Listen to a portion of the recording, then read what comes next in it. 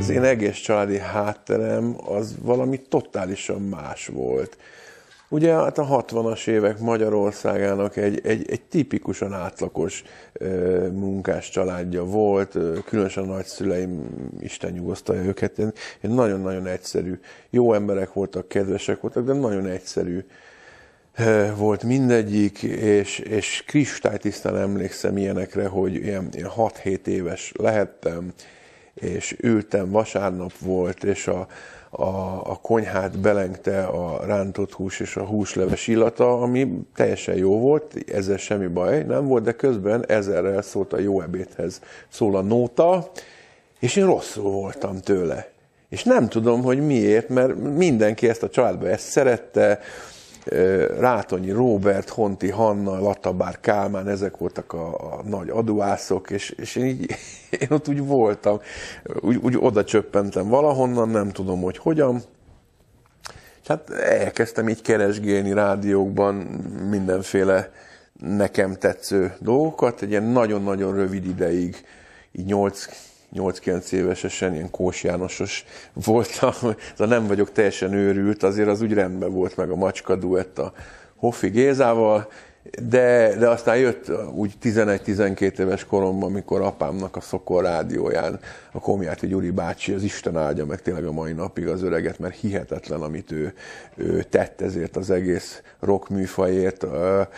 És az ő műsorában bemutatta a, a T-Rex, a Tyrannosaurus Rex és Mark Balannak a, az akkori legújabb dalát, a, a Children of the Revolution, a forradalom gyermekeit, és ez egy ilyen kőriff, egy kőnóta, és akkor én ott kész voltam. Meghallottam, hogy oppá, ez az. Ez, ez, ez, ez, ez nekem nagyon tetszik, ez kell nekem, és úgy elkezdtem így, így hallgatgatni, meg keresgélni, és akkor így folyamatosan felfedeztem a korszaknak a, a nagy ö, ászait, a Deep Purple-t, a Uriah Heep-et, Black Sabbath-ot, stb. stb. Elkezdtem gyűjtögetni őket, ami nem volt egy egyszerű történet, mert mert nem volt internet, nem voltak igazából lemezboltok, ahol külföldi lemezeket lehetett kapni, az állami lemezboltokban meg csak a, a hazai engedélyezett sztárok lemezei voltak, úgyhogy ehhez feketén lehetett csak hozzájutni, így a múzeum körútnál neppereknél. Oda mentél, és akkor ott, ott, ott, ott el, elképzelhetően meg tudtál szerezni. Tehát az, hogy a mai korszakban annyira eldevalválódott, értéktelen lett, hogy megjelenik naponta 10, 20, 30, 40, 50 lemez, és az emberek egy gombnyomás és letölti.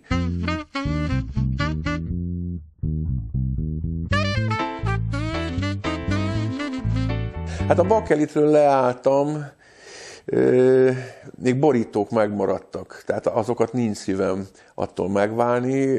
A régi, a régi bakelitjém szétlettek gyilkolva, tehát annyiszor lettek hallgatva, meg olyan vacak lemezjátszók voltak, hogy, hogy, hogy annyira recsegtek, hogy ezektől meg kellett válnom, de a borítók azon még mindig megvannak, és akkor úgy átálltam a CD-re, és igen, jól tudod, hogy 8000-nél tart a történet. Se ABC, se ilyen, ilyen nagyon laza rendszert próbálok, tehát ilyen, ilyen stílusilag, hogy, hogy mondjuk egy szekrényben inkább ezek a West Coast muzsikák a 80-as évekből, akkor van egy másik rész, ahol a 70-es évek eh, hard rockja és a glam rock, amit szintén imádok, akkor van egy magyar szekció, így körülbelül.